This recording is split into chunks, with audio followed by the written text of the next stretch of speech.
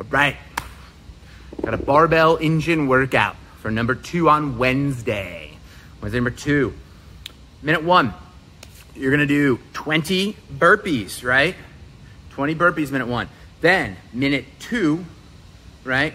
You're gonna do three to six squat cleans depending on what kind of weight you have. If you've got heavy weights and you can start to go heavy, you can go, or if you can go heavy or heavier, right? You're gonna do three. If you have light weights, you're gonna do six. If you have super light weights, maybe you extend it past that six. It's okay. The idea is we're gonna get some conditioning and some strength work in. So these are squat cleans. So they start on the ground, come all the way up, process them through a squat. If you're still learning the squat clean, just start at that high hang, that really top position here, right? Where we're like this, right? So we don't go a little crazy. Don't don't try and learn things on your own at this point uh, that aren't that are super complicated like a clean.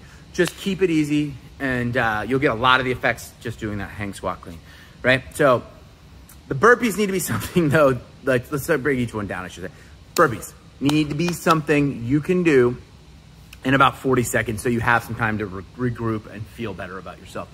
Uh, if you need to make them challenge, challenging, um, bar hop is fine if you've got a bar hop, or dumbbell hop is fine if you want to make them a little bit more challenging. Bar facing would be your next step up, right? Those of you guys that struggle with burpees, cut that number back to something you can do in 40 seconds, right? Squat clean we've talked about, uh, but it's barbells or dumbbell. If you got a kettlebell, it's the kettlebell swing to goblet squat, which gives you very similar um, movement patterns, right? Or similar stimulus to those cleans. Do go ahead and do that. They're fantastic. Um, and they'll work great. Those though, the weight will be a little lighter, so you might increase those reps to seven or eight on that one, right? But remember, you've got to do this, it's total 16 minutes, so you'll do a total of eight minutes of burpees and a total of eight minutes of clean. So that could end up being a lot of reps. Like if you put it at eight, you're gonna do 64 reps of that over that 60 minute period. It's doable, but make sure it's doable for you at the weight you have, right? All right, good luck guys.